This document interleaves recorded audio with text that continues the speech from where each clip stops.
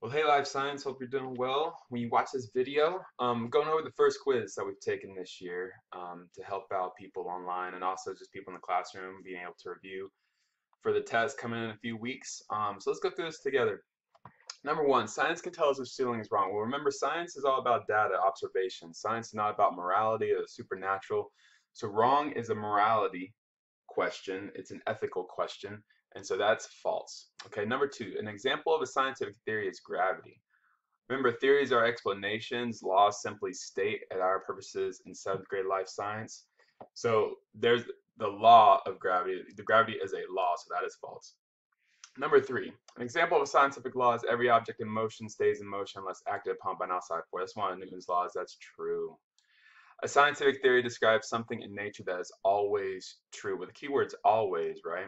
And so, for example, cell theory, we don't know where the first cell came from. Theory of evolution, um, we can't answer everything involving the theory of evolution. We weren't there to observe it. Um, so that's false. There's some things about theories that we do not, um, can't prove to be absolutely true, and that's why they're theories. Although they are backed, remember, they are backed by a lot of good science.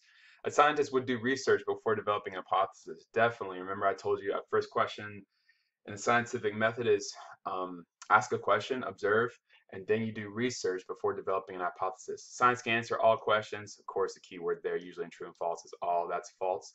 The dependent variable is the one scientists change in an experiment. Um, that's false. The independent variable, I change. The independent variable is the one the scientist changes. The first step in science is to do an experiment. That's false. Science always follows a linear step-by-step -step process. Remember, I told you science can go, you know, it, it's fluid. It can go back and forth. It, it doesn't follow this A to B, B to C, C to D. This is linear means a straight line. But science might go down here and go back and change something. It might stop here and revise the experiment.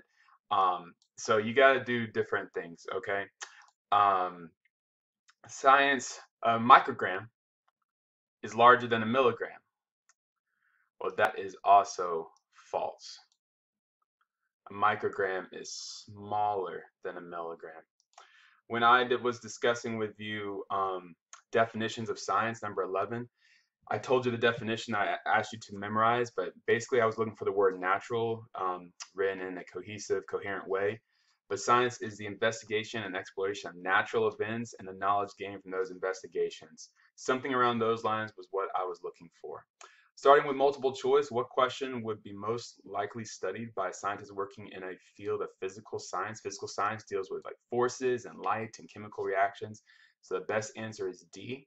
The SI unit or the units that are used around the world in scientific labs and scientific um, communities for length is meters and mass is grams. Okay, so if you put inches and pounds for that, those are customary units used in America and a few other places, but that's not what scientists use around the world. We use meters for length and grams for mass, which is why I discussed in class with you. Also, hopefully in your notes. Um, while studying metabolism, scientists discovered that some microalgae produce large amounts of oil. They discovered that, um, they saw that, so that is an observation. Okay, which of the following is a good hypothesis?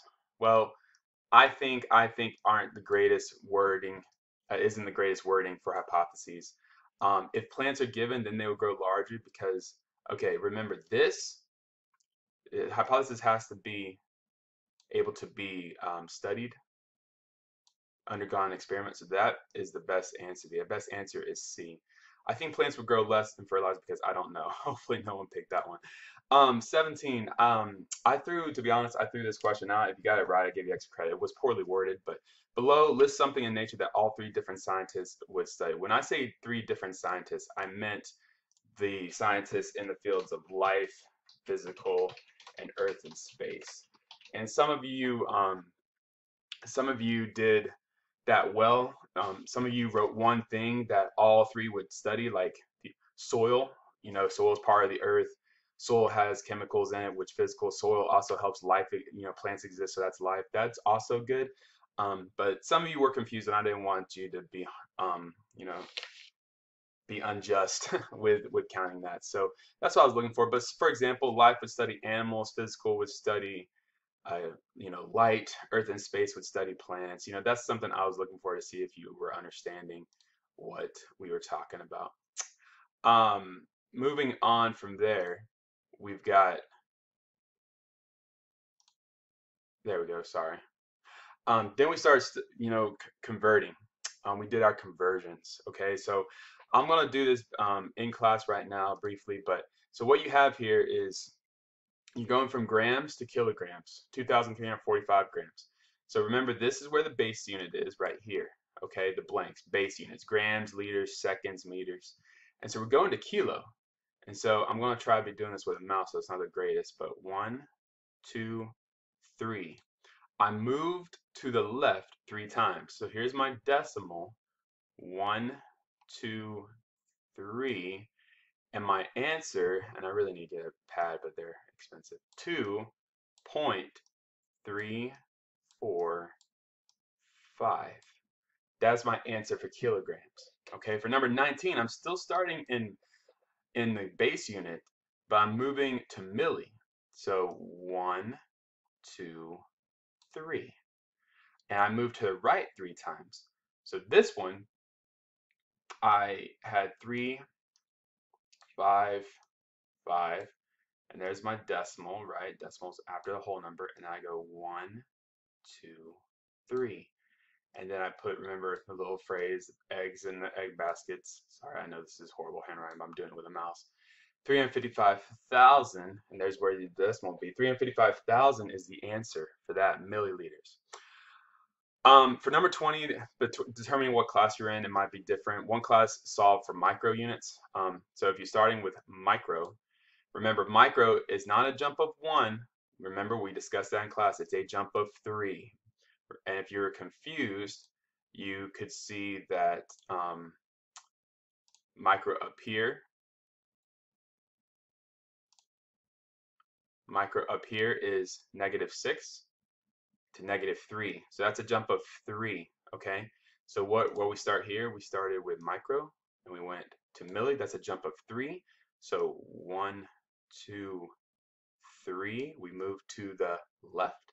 And so the answer is 750, sorry, I know, 755 millimeters, okay? Some for the other class, I, I changed this to centimeters, cm. And so we went from here over 1. And so that literally, you just would have added a 0. So you have 7, 5, 5, 0, 0, 0. And so you have your decimal and you move over 1. And there's your 0 there. So this is actually 7,550,000 millimeters. Okay.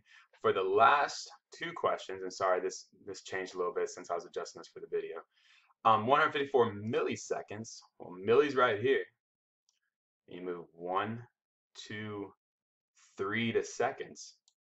And so that's 0.154 it is helpful to put a zero in front of there. For our purposes in life science, I'm not going to be, you know, that strict about it, but in future courses, just be prepared that they'll expect a zero before that decimal.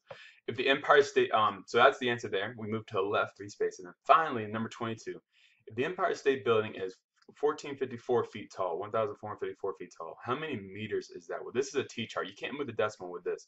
And this is why I showed you this method initially and so it's very important. So what do we have? We have 1,454 feet. Okay. Whatever my unit is here, let me do a different color here. Whatever my unit is here, my family who likes LSU would be really proud of me right now. would goes down here. Okay. Whatever I'm trying to convert it to is up here. So this is meters. How in the world do I know what numbers to put here? I know what numbers to put there because I have my conversion right there. One foot equals 0.3048 meters. So what I do with these two numbers, I multiply them and divide by the product of the bottom, which is just 1. And so when you multiply 1454 by 3048, your answer, you should have received an answer, 400, oop, 443 Wow, that's really bad. 443 point, I don't know what's happening. That's crazy. Let's just get out of that. Yeah, sorry, I'm still kind of learning this program, of course. Wow, that's something else. Let me just drag over the calculator so you can see. there you go, 443.1792. I wanted to show you that. You could round it 0.18, but you know a lot of people just wrote that out. Remember, for math problems, um, partial credit is given if you showed your work. A lot of you didn't show your work, so if it was wrong, unfortunately, it's completely wrong. So, anyways, hope this video was helpful. Hope it helps you answer, you know, some of the questions about why you got a certain question wrong. Some of y'all did really well. Some of us were, you know, still learning and still learning how to study it. And you know, it's been a long time since school, so um, we'll get we'll get better. We'll keep working together. But until next time, uh, God bless, guys.